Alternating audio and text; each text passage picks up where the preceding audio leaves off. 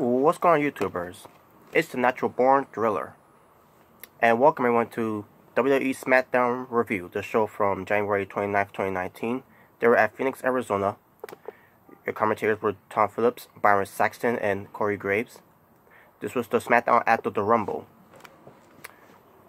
And all I gotta say about the show, folks, is that this show, I didn't watch the entire show because oh, based on what they did on, on the show with Shinsuke Nakamura, and which is why I'm wearing the cap, the T-shirt, the the leather jacket, which by the way, it's strong style has arrived. This is all this SmackDown review is in honor of how they treated Shinsuke Nakamura on this show. And you're probably wondering um why, for those who haven't haven't been watching. Well, I'm gonna run through the, um, everything happened on SmackDown first.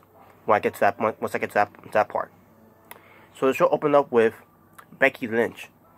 She comes out and addresses um um you know confronting Ronda Rousey on that Raw and choosing her to face her at WrestleMania because she won the Rumble.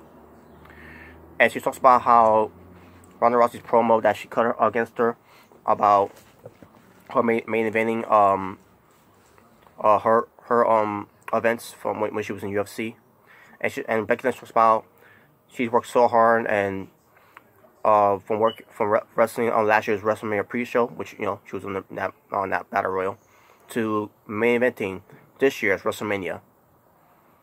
And also, when Charlotte Flair comes out, she comes out in applauding, and she had that stupid smile on her face. I hate, I fucking hate when she does that too. Always got a, a smile on her face. Never take anything seriously, which is why I can't fucking stand Charlotte Flair anymore every, wherever she cuts a promo, she always smiles. Wherever um someone's confronting her, you know, to cut a promo against her, she always smiles. She it, it never ends with it um with, with her. She looks like a fucking clown, by the way, with, with, with all that makeup on her face. But she came out there and she tried to uh, take credit for Becky Lynch for for everything that Becky Lynch uh, has accomplished um in in WWE, and talks about and basically uh, talks about how yeah, she was she was not even officially in the Rumble, and and also um you know talks about how how proud and happy she is for her and all that. Well, well she sure she sure showed that because she keeps smiling every fucking time. But but then Becky Lynch punches her punches her right, and I'm like good punch punch her in the face like. And then all of a sudden Becky Lynch leaves, and then Charlotte Flair attacks from um, on the rampway, and they start brawling. And then the referee comes out, you know, the officials comes out and uh, pull apart. Charlotte Flair is mocking her of her limping and everything. This is what I'm being. Yo, you're, you're supposed to be uh you're, you're you're supposed to be um angry that she punched you in the face and um and then you uh you you and you um while while this whole pull, apart's happening between these two, you know, Becky Lynch try to get to her and and Charlotte Flair is mocking her and laughing at her, smiling at her like, "Fuck you, Charlotte Flair."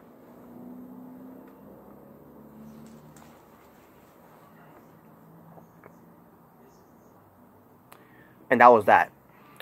Then we get to um R-Truth and Carmella coming out. R-Truth talks about how Nia Jax uh jacked her up for taking her taking his spot from the Rumble.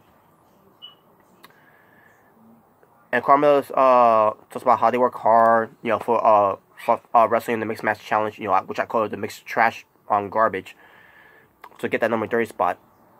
And R-Truth says something about, you know, he was he went he went from rapping to napping know, because you know he's a rapper he raps, you know, and he and he, he's got rhymes. So, and, and he talks about how if he if Nia Jax would have done what he did, I mean, if Nia Jax would have done what, what she did to R-Truth, he would have won the Rumble. yeah, right. So the McMahon's uh decided, you know, to give him uh, a consolation prize. What's that consolation prize is? To go after the United States Championship against Shinsuke Nakamura. Now they didn't actually say consolation prize, but Corey Graves on commentary did say consolation prize. So I was and before you know before Corey even said that too, I, I thought in my mind. So this is on you know, this is R-Truth's consolation prize for not entering the Rumble, getting a United States Championship title shot. So we get we get to this match between Shinsuke Nakamura defending his WWE United States Championship after winning it back um back in the the Rumble pre-show against Rusev. He goes up against R-Truth and defends the title. So the match happens, and they went to commercial break, and they come back from commercial break. Just minutes later, uh, in the commercial break, R R-Truth uh, rolls up Shinsuke after going for a signing fireman's, car- fireman's carry, well, where, where Nakamura was trying to go, uh, do. So R-Truth counters, rolls up R, uh, Nakamura, uh, and and then um, you know referee's counting, and Nakamura kicked out too, but the referee still counted the three, and Nakamura lose the match after a two count. Clearly, it was a fucking two count. And who, who was the referee that match? A long time referee since the 90s, Mike Chioda, who's now known as a, a, a, a veteran uh, uh, as a referee in WWE. Very close to being a senior referee at, at this point. Clearly, Shinsuke Nakamura kicked out at, at two, but referee Mike Chioda still counted to three and rewarded R-Truth the winner of the United States Championship.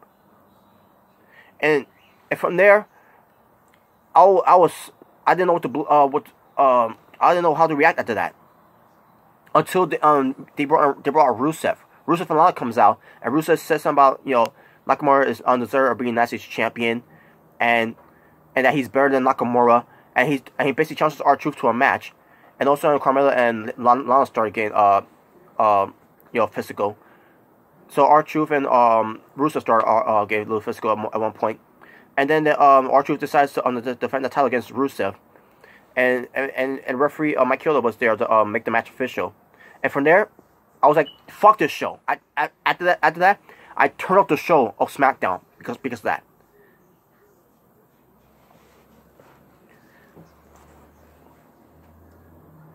At this point, folks, I, I was so pissed off that I, I, was like, I was like, fuck this shit. I was like, fuck SmackDown and, and fuck how they how they train Shinsuke Nakamura. Fuck how they train R-Truth. Fuck how they train Rusev. Fuck how they train everyone else in, in the company as well.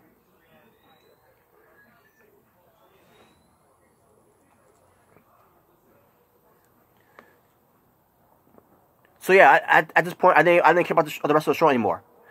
Now, I did watch the highlights of SmackDown after that. But after what they did to Shinsuke, I, I, I, I had to stop watching. And sure, Daniel Bryan is the WWE champion, and I, you know, I want, I want to see how his title run is, is going. And, I, and I'm, I, I, I'm, I'm still gonna watch SmackDown though, you know. But I couldn't watch the rest of the show of SmackDown after, after how they treated Shinsuke Nakamura on this, uh, on the show. This was absolute fucking bullshit.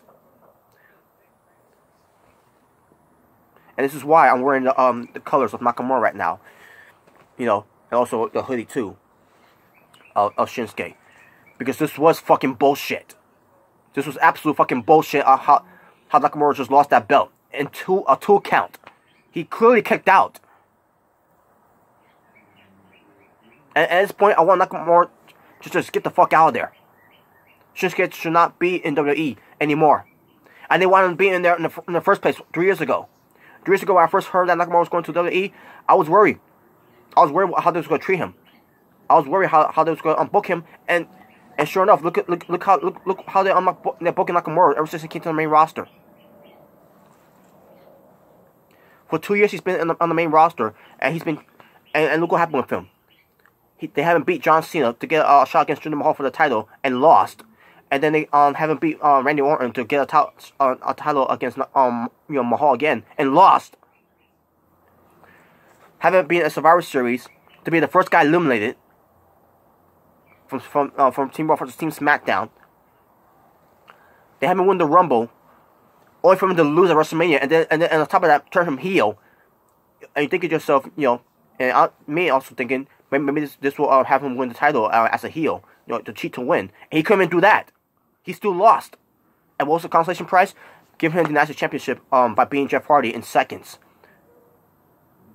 And then do nothing with him as being United States champion with the whole welcome to United States of Knock America and done nothing with him uh, with, with him being United States champion and not even do um in sec you know to do segments of him of of of of the United States of Knock America. And then we get to this point where he won he won the United States title from Rusev. Well, he lost to Rusev uh, during the Christmas episode. Uh, and then and then we get to the Royal Rumble, of the pre-show. He wins the United States title, only for him to lose it two nights later against R-Truth. This has nothing to do with R-Truth. This has something to do with how they're booking uh, these their, their talents right now. One of the reasons why I don't want to I, I don't want to watch this shit anymore.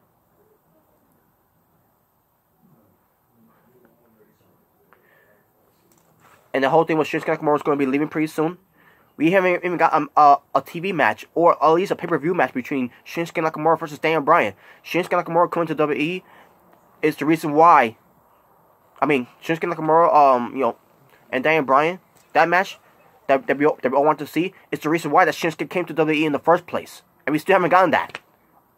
Oh yeah, sure. People um that that um um that watched that watched it at the SmackDown went off the air. Um, they got to they got to see it. But what about the rest of us? We have, we haven't seen it. What about, what about the rest of us? You know, what about, what about the rest of us that wasn't there at that at that show at the SmackDown went off the air for that um that match that happened? You know, that dark match that Nakamura and and Daniel Bryan had. What, what, what about the rest of us that haven't that haven't seen it?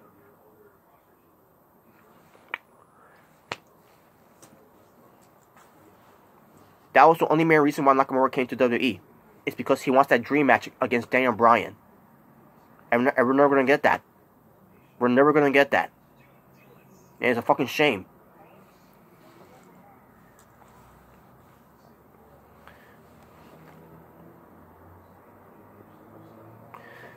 So, so basically, R-Truth, um, now, how, how can I move on after this, so? So, yeah, R-Truth, uh, goes up against Rusev for the title.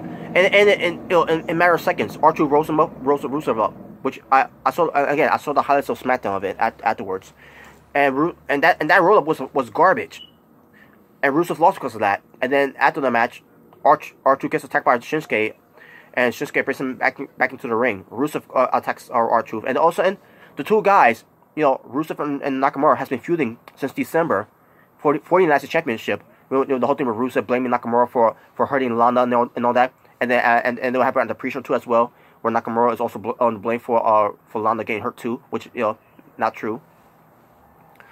Um, you know if you've seen the pre- the pre-show match, you, you know what I'm talking about. But so Rusev and Nakamura, after um they've been hating each other for for the past two months, they also team up on on on on R-Truth. What? Who the fuck is writing this bullshit?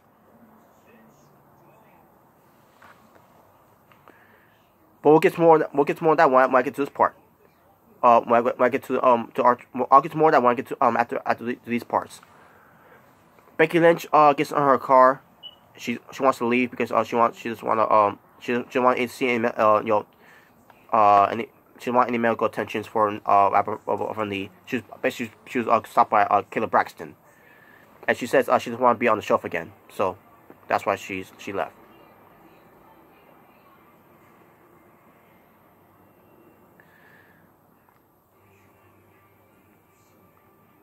So we get Rey Mysterio Jr. versus Samoa Joe, which never happened because Zelina Vega came up, come out and blames um, Rey Mysterio Jr. for uh, from banning her at ringside from that from the last SmackDown episode, you know, last week's SmackDown, because um, Mysterio uh, is is, is distracted of Zelina Vega, and I'm like, well, let's be honest, uh, anyone could be distracted for uh, Zelina Vega or, or what she's wearing, you know, because she, she's she's freaking hot, but still, um, so now Andrade and Honest uh, attacks Rey Mysterio Jr. from behind uh, he does the Three Amigos, but Mysterio uh, stops uh, um, stopped the third attempt of it.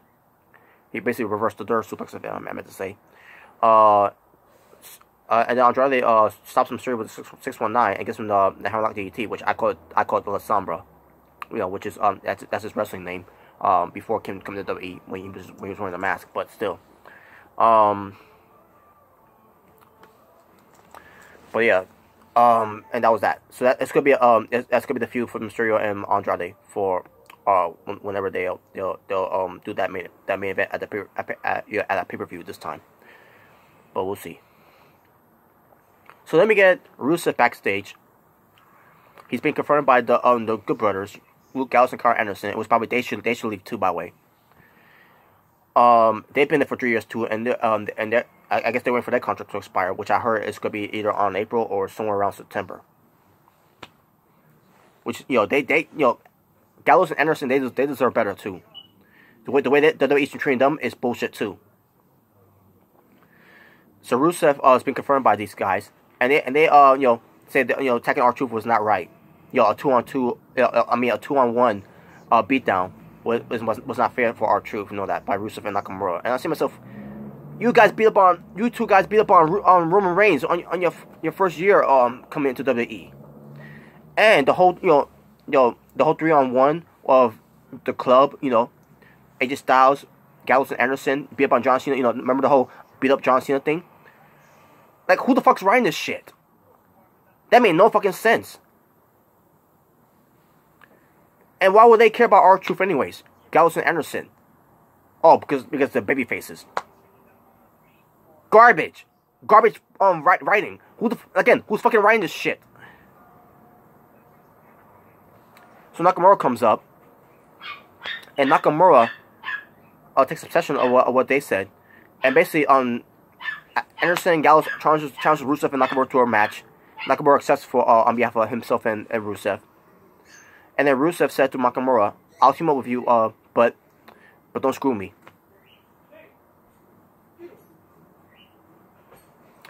So yeah, Rusev and Nakamura are our tag team. After they um feuding um since um December, and then you know for for January, you know, which um I'm assuming that that's the end of of their feud from um the, the pre-show. So after they've been feuding for two months, for the United States Championship, and you know, the whole team of uh, Lana getting hurt and all that, believing Nakamura and everything. Now they're a team. They need to get out. They need to get out of WWE at this point. They, they, they deserve better than this. The fact that Nakamura lost the belt two nights ago, uh, you know, uh, against R-Truth. well, I won't say two nights ago two, two nights later, uh, after the um the Royal pre, you know at the window on the at the Royal pre-show. So two nights later, after um Nakamura losing that belt and Rusev um come, and, and it's another thing, Rusev turned heel. They they turned Rusev heel. This company doesn't know what the fuck they're doing. This is the, this is the treatment that um, they're, they're treating their, their talents right now. It, it is no wonder why they, they want to leave. Rusev at one point wanted on the leave, and the WWE did not did not grant his um his release. Same thing with the Revival right now. Same thing with Maria and, and Mike Kanellis right now. and it's no wonder why Dean Ambrose wants to leave too, by the way. This company doesn't know what, uh, how to treat their, their talents right. Yeah, I'm listening. So Shane McMahon and The Miz, they, they celebrate the tag team win, uh, a win, of becoming tag team champions and they had the dad with them. Yeah, I mean, I mean, not not not Vince, uh, but you know, just Mrs. Dad. And um, and now and these crowds were chanting, "You deserve it" to Shane McMahon and the Miz, who just teamed up. You know, uh, back in December. Was it December? Oh, no, shit. Uh, they, they, they, they, I mean, um, since January, I meant to say. And by the way, folks, I'm doing uh, this, this recording of it uh, on the on the uh, uh, on the February, so that which, which, which is why I'm, I'm, saying what I'm saying. But these cross chain, you deserve to Shane McMahon and the Miz, who hasn't been teaming up for for that long. like, like, what the fuck is wrong with these people? So then all of a sudden they made a match uh, for all these four teams to face each other to uh, to, to see who's gonna face them at at Elimination Chamber for the titles. And then we get, uh, and then uh, I'll get to that I'll get to momentarily. But then we get to Mandy Rose and Sonya Deville. They they decided to, uh, declare themselves into the Elimination Chamber match for the uh, women's tag team titles. And I say myself, wait a minute. So on Raw, you had these women's uh had you had to, had to fight for to qualify in, into the into the match. But then we get to SmackDown, Mandy Rose and Sonya Deville. They they just uh you know declare themselves to just be in the match. That made no fucking sense. You, you, you, see what I'm talking? You see, this is what I'm talking about here with, with WWE. They don't, they, they don't know how to write shit. They, they, they don't make anything or uh, make any sense. And then this may, and then, and then make it even worse. Mandy Rose has been asked by, I, I think it was uh, Kayla Braxton who interviewed her. And she asked uh, Mandy Rose uh, why you know, she's um, talking uh, Man, uh, Naomi. Like so, like she explained why. Right. And they show a clip of her uh, when she wasn't tough enough and uh, Naomi was uh, was uh, I mean a cameo person there, and you know basically insulting her and saying that she's weak. And this um and this and the and the um had Mandy Rose um you know cry at one point and, and depressed, where it led to her boyfriend leaving her. I'm like, what the fuck is this? And I'm like, well, I guess you could say, you know, in the way she, it makes sense why she's doing what she's doing to Naomi, because Naomi is married to Jimmy Uso and try to ruin their marriage and everything. But at the same time, like, really? So, and, and it made no sense because, because Mandy Rose's character is that you know, she could have any any any any uh, man she wants because of her looks. Why the fuck would she care about her boyfriend leaving her? Just, uh, whatever. So that that's why they're doing. That's why Mandy Rose is um is uh, in this feud against Naomi, which is fucking garbage. The Bar versus the Usos versus Heavy Machinery versus the New Day. New Day got eliminated first. Yeah, so it was elimination rules by the way. And then Heavy Machinery, yeah, Heavy Machinery got eliminated, and then the Bar got eliminated. So yeah, the Usos won the match.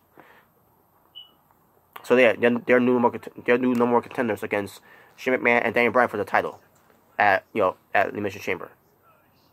And then and then we get the, the closing of, of the show. Daniel Bryan, the WWE champion, come out and talks about how you know uh, who won the Rumble, and the fans were chanting for Becky, and then, and then Dan Brown's like, no, he's like, you know, he said, he said, um, he won. Um, I guess he meant you know winning the um the, the uh, at the at the Royal Rumble pay per view, you know, for still being the WWE champion. And then Daniel Bryan says something about he, he's he's the planet's champion. Um,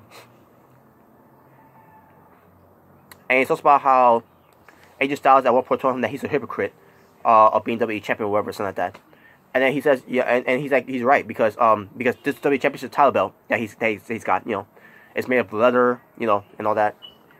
And it was it's from uh, it was from um a cow named Daisy. uh, he's going for his SJW. He's he's going he's going for his SJW uh promo there. You know. Oh yeah, who's that guy from the Pirates of the, Pirates of the Caribbean that has the octopus face? Anybody know his name?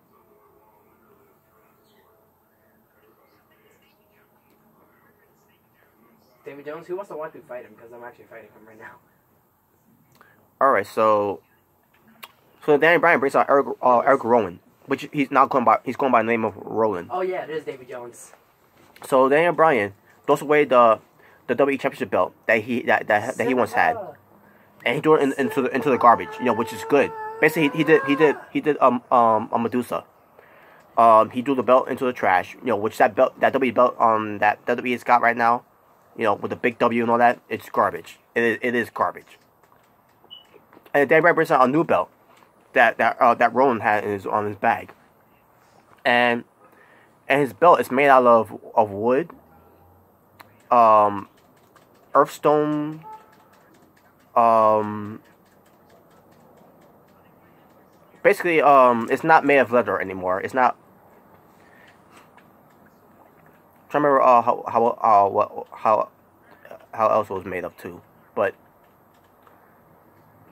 I like you know what? It fits Dan Bryan's character. You know, is um is it basically look all beige, um brown, brown colors and all that. I, you know, it, in a way, it kind of looks unique. Um, and you know, it fits it fits his character too, because Dan Bryan's character is all about the environment. He's all about the planet. He's all about being um, a social justice warrior. So, and all, all I gotta say is about time that Dan Bryan's got uh, a belt like that, because you know he's he's a real life vegan. You know, because, you know, the whole thing of, you know, his tile belt is made of leather and he's not real vegan because of that. so, yeah, uh, so when AJ Styles comes out. Uh, he, he starts talking. Randy Orton comes out to interrupt. He starts talking. And then um, Jeff Hardy comes out. And then Mustafa Ali comes out. He starts talking. He got interrupted by Randy Orton by, you know, did you get didn't you get beat by the by a girl at the Rumble, Weber? I'm like, great. Well, wait to uh, the bury uh, Mustafa Ali right there. And then Samoa Joe comes out and he starts talking about, you know, Randy Orton, Jeff Hardy, Mustafa Ali, uh, Daniel Bryan, and they and they talk about AJ Styles. Um, how's Wendy doing? You know, his wife, AJ Styles' wife. AJ Styles, uh, and also uh, uh, a brawl starts breaking out between Joe and Styles, and then everyone starts fighting except for Daniel Bryan and, and Rowan. And Daniel Brown was like, you know, like no one deserves a shot at this title. And then also Triple H comes out on, on Titantron and says, no, you're wrong. They all deserve the title. So it's going to be Daniel Bryan defending his WWE Championship against all of them inside of the Elimination Chamber at Elimination Chamber. And that's how the show ends. So there you go. And that was SmackDown. For, yeah, for, for of what of what I saw uh, from the beginning, and then the rest of it I saw um, from the highlights because I was so pissed off about what they did to Nakamura. So talking about wrestling for SmackDown, there were only three matches, folks. Isn't that a little extreme? There were Quest? there were literally three matches on the show, because one of them uh, didn't happen, and and two of them was uh, was uh, was uh, was book, was uh, booked uh, like like uh, full like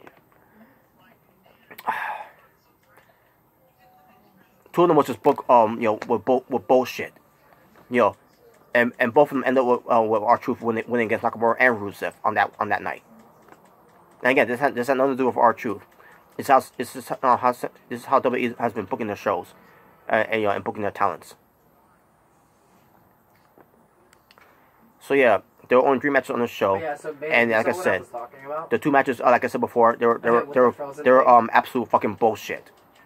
But the one match, um, you know, it it did uh, went, went long. even better than And one match never happened because um because um Rey Mysterio Jr. was attacked by Andrade Cien Like, Almas. if you really look at So it, the Kingdom Hearts version is actually better. Better graphics.